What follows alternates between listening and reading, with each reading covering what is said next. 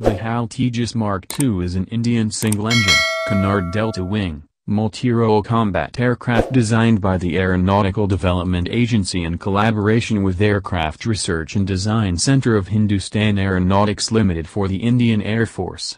It is a further development of the HAL Tejas, with an elongated airframe, close-coupled canards, new sensors, and a more powerful engine. The fighter is being designed and developed to replace multiple strike fighters of IAF viz., the SEPECAT Jaguar, Dassault Mirage 2000, and Mikoyan MiG-29. The indigenous content of the fighter will be 82% initially and will cross 90% after the licensed production of its engine. The FST process of the LCA program was begun in 1993 with first two phases completed so far, which resulted in the development of Tejas Mark I. Mark 1A, LCA Trainer, LCA Navy Mark 1 and LCA Navy Trainer variants. Dr. V. Madhusudana Rao is the project director of Tejas Mark II. The development of Tejas Mark II or MWF was initiated to address all the shortcomings in Tejas Mark I and Mark 1A, and to meet the original air staff requirements set out for the LCA program by the IAF. The development of Tejas Mark II was authorized in November 2009 as a continuation of LCA program, under the Phase 3 of full-scale engineering development process.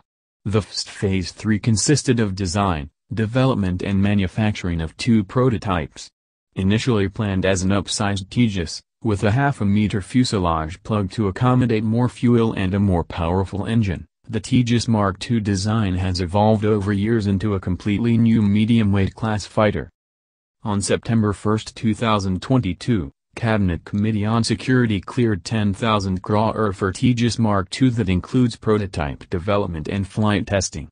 The cost of fighter jet development will take 6,500 crore in addition to 2,500 crore sanctioned previously through internal funding. HAL planned high-speed taxi trials from 2023 and limited series production from 2025. The entire development process will be completed by 2027 with serial production from 2030. Tejas Mark II will become operationally available from 2028. Apart from current commitment of 110-120 aircraft that will form six squadrons, expectations include an additional order of 210 aircraft. After an initial plan to involve private players failed due to no backers, HAL is planning to form its own consortium to fast-track the manufacturing process. Due to delay, the first prototype will roll out by December 2023 and first flight will happen by December 2024. Four prototypes will be made until 2027 for testing purpose. Delegation from 16 countries were seeking details of Tejas Mark II at DefExpo 2022. Government is speeding up efforts to identify Indian private sector company to increase the production rate and decrease the cost for exports.